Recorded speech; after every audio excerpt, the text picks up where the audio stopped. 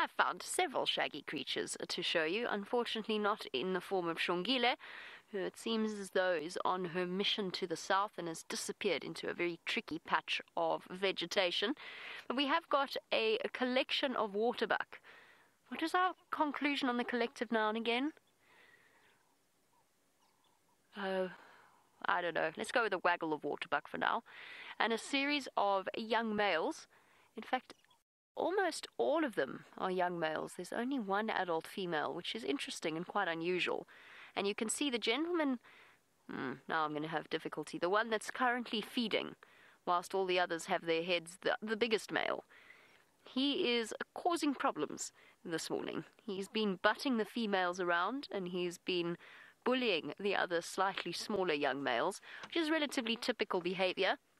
We have seen several waterbuck that are caught up in the hormones of this time of year and been chasing the ladies around. Uh, he, even though he's not fully grown, has been causing, practicing his fighting skills. What have you seen? Sorry, there's an alarm call. Oh, no, maybe it was just a sneeze. What have you seen? Look at the one on the dam wall looking down there. He's the one that snorted.